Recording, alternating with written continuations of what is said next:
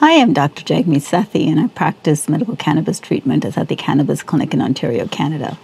This video is on CBG and ADHD diagnosis or ADD diagnosis, attention deficit disorder. Um, and patients with ADHD have trouble focusing and concentrating on tasks, and that's uh, very uh, difficult for them to finish their task or focus on their task. Um, so this new cannabinoid CBG or cannabigerol um, helps improve focus and clarity in ADHD patients. CBG is not intoxicating and not addictive, which is what makes it remarkable, and improves focus. So it is a newer cannabinoid in cannabis medicine um, and has gained a lot of momentum in the last three to six months, especially in the ADHD population. Um, so really, it has no side effects and improves focus. So that is remarkable. The oils for ingestion that are available in Canada have both CBG, cannabigerol, and CBD, cannabidiol. Remember, CBD cannabidiol is very well known. It's the non-intoxicating part of cannabis as well.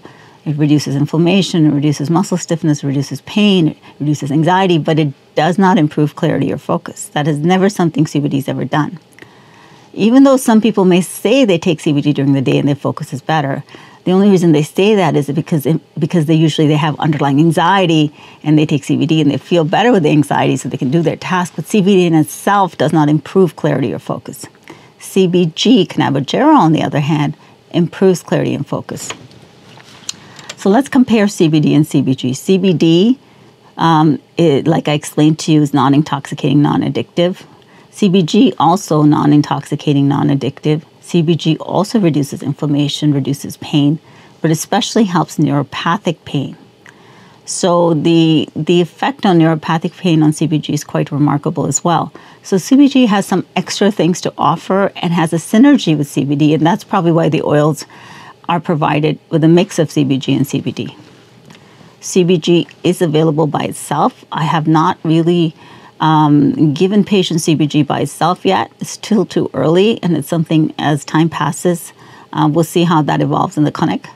But for now, I'm very excited how well the CBG CBD oils are working for ADHD patients for clarity and focus. So they take CBG CBD combination in the morning and again in the afternoon. It's not really used at night because it doesn't really help sleep.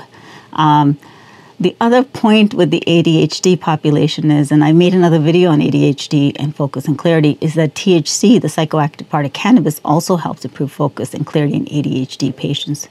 When an ADHD patient smokes or takes THC in small, tiny doses, it improves their focus. Whereas another patient with a different diagnosis, like say they have back pain or some other diagnosis and they take THC, their focus and concentration will go down. It'll reduce their focus and concentration. But in an ADHD patient, microdoses of THC improves focus and clarity, and I don't know why that is. But it's definitely true because it's been seven years now, and after thousands and thousands and thousands of patients with ADHD that I have talked to, this is a well known fact. And if you talk to an ADHD patient who has used cannabis, they'll tell you themselves that they will microdose THC through the day to help improve focus. So what's exciting about this is that now maybe that microdosing of that THC can be replaced by CBG because CBG is non-intoxicating, non-addictive part of cannabis.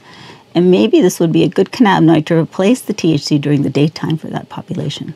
How they will compare head to head, a patient taking CBG during the day versus microdosing THC in terms of focus and clarity, time will tell and then I'll post a video when I know that better. Um, for now, this is certainly exciting to see a new cannabinoid that's doing so well in the clinic. Um, so I'm happy to say that. So thank you for watching and please subscribe. Bye.